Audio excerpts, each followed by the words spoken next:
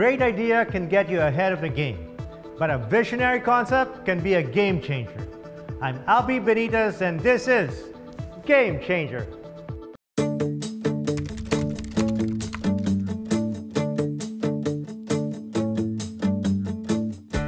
There are men and women driven by passion, committed to find happiness and meaning.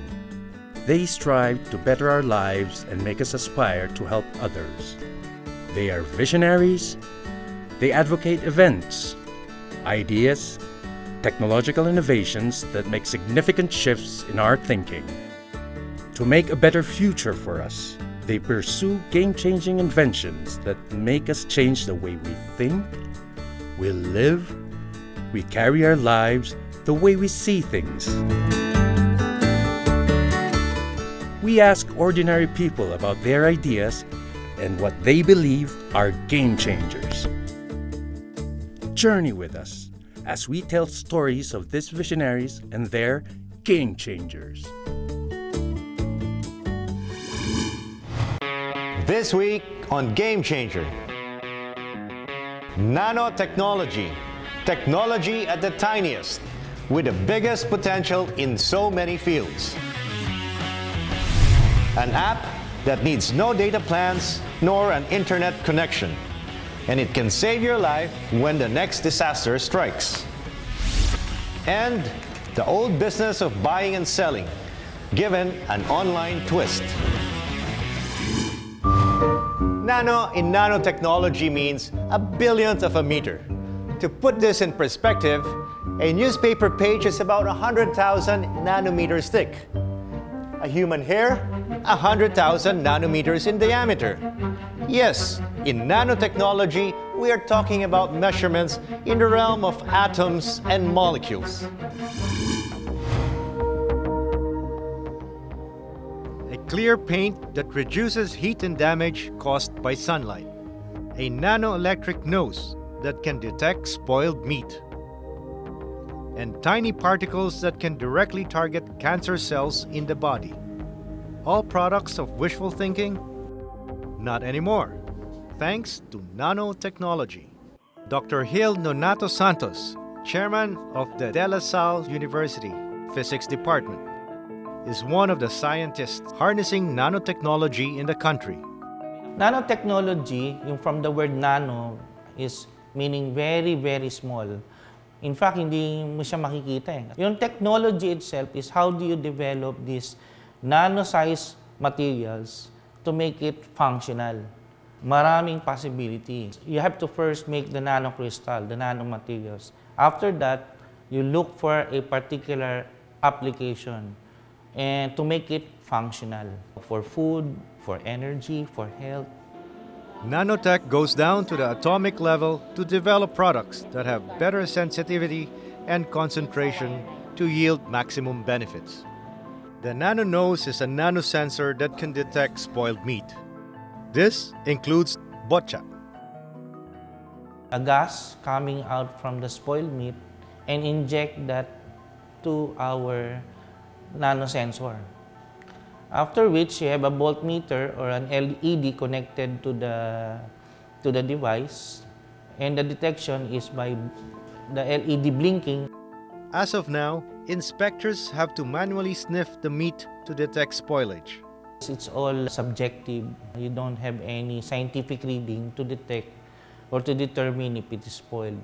That's why we are making this uh, electronic nano nose sensor to be able to produce scientific reports based on the meat spoilage detection.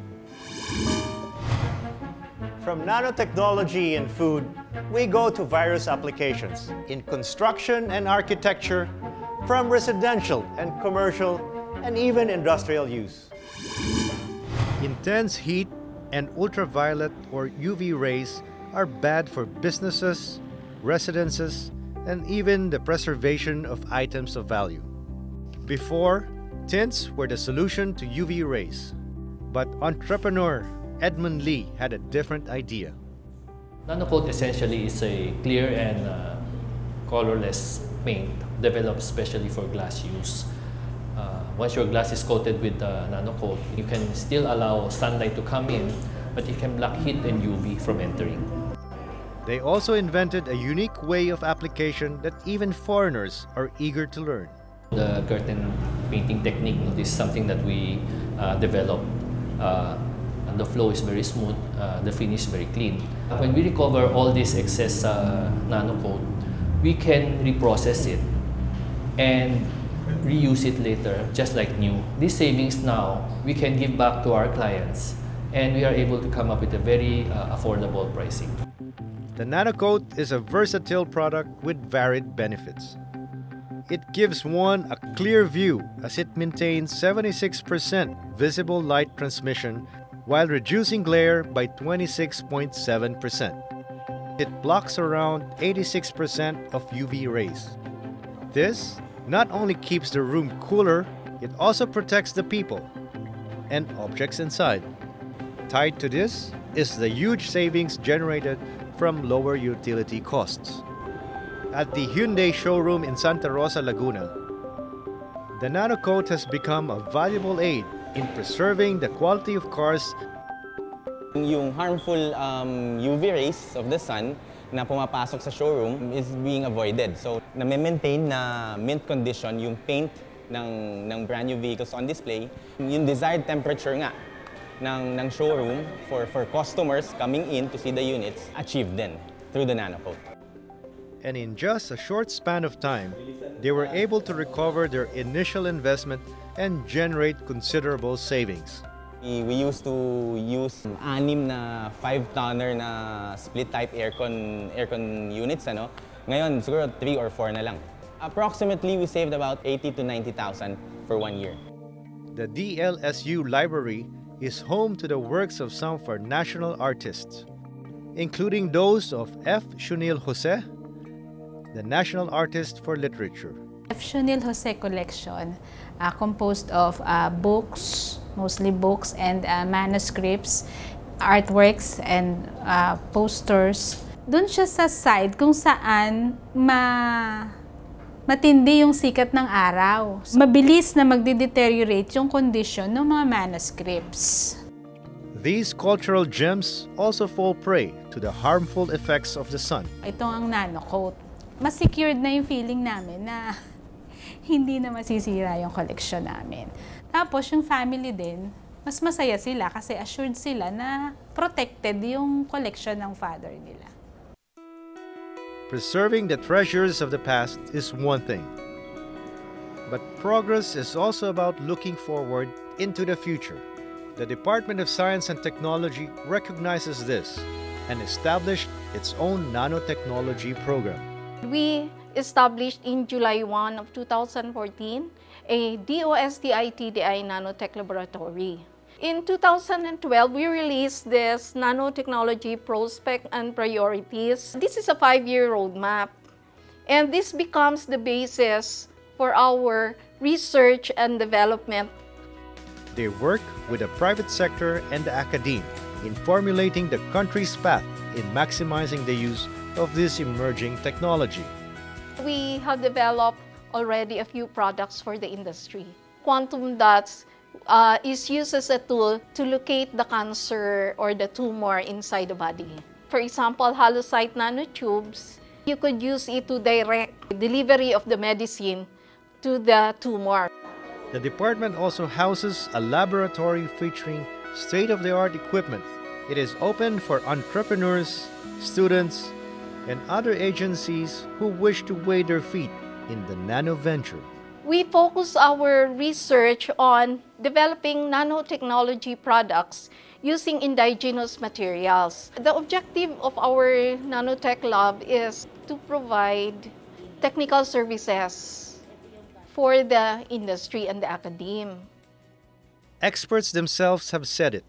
Nanotechnology has changed the game in different fields of expertise. Nano-based solar cells for charging devices on the go, to nano-based skincare products, and the nanorobots that can deliver drugs through the bloodstream. Name it, the possibilities are endless.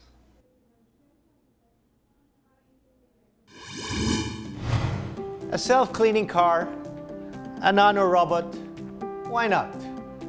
But nanotechnology is not without its detractors. There is concern about nanopollutants, even nanotech weapons. But whatever they are, science and society would eventually weigh nanotechnology's pros and cons. And my guess will be the pros winning out. Up next, an app that needs no data plans nor an internet connection. And it can save your life when the next disaster strikes. So who or what is a game changer? Game changers are things, ideas,